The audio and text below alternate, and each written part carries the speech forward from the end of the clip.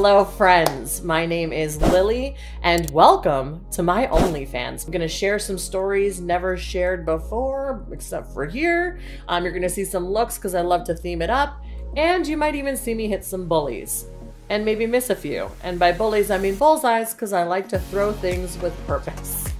Don't forget to subscribe to check it all out. I have a lot to share with you, and I cannot wait to see you there.